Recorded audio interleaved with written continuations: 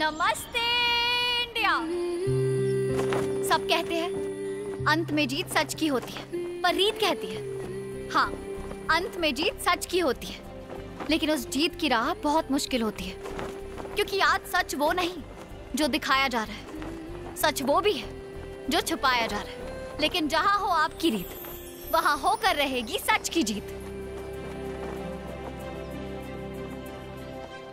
वैसे तो ग्वालियर मशहूर है रेशम और अपने किले की ऊंचाई के लिए। पर हम यहाँ आए हैं दो भाइयों के बीच हो रही शबरी को लेकर लड़ाई के लिए। छोटे और गरीब भाई मनी चंद ने अपने अमीर बड़े भाई धनी चंद पर उसकी इकलौती शबरी को चुराने का आरोप लगाया। इसलिए मैं अरविंद केसरी आपका खबरी।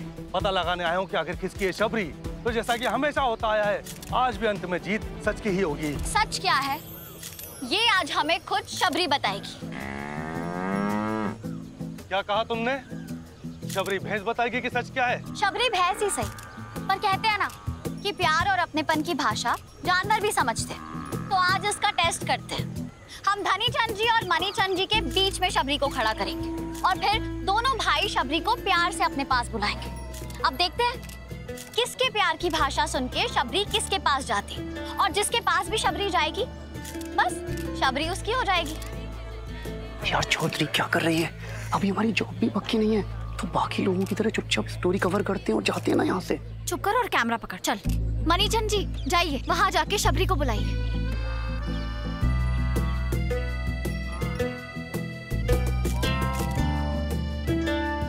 शबरी शबरी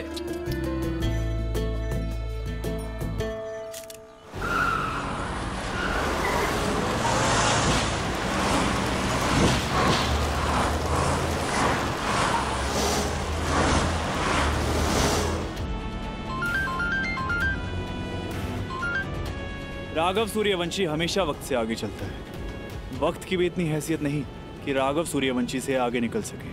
डोंट वरी वक्त से पहले पहुँच जाऊँगा। फ्लाईओवर कंस्ट्रक्शंस के डील पेपर साइन करने।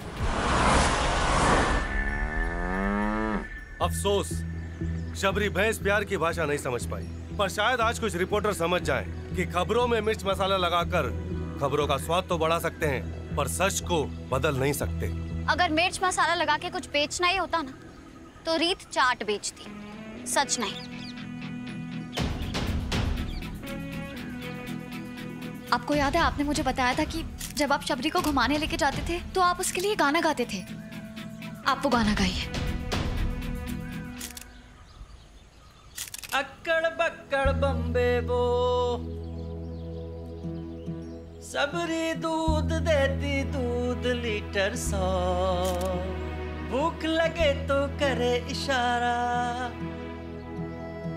मानी चंद उसे फिर खिलाता चारा। अक्कड़ बक्कड़ बम्बे बो सबरी दूध देती, दूध लीटर सौ। अक्कड़ बक्कड़ बम्बे बो सबरी दूध देती, दूध लीटर सौ।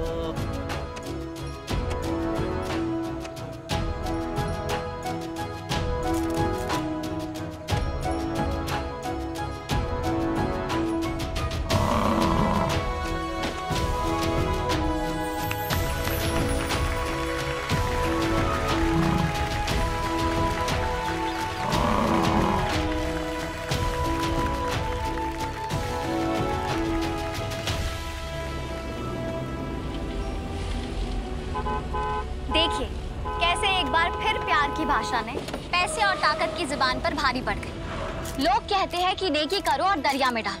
पर रीत कहती है कि अगर आपकी बात सच है अरे क्या हो रहा है ये सब? तो आपके छोड़ो रास्ता। देखिए यहाँ से कोई नहीं हटेगा। आप अपनी गाड़ी मोड़ लीजिए। हटना तो पड़ेगा।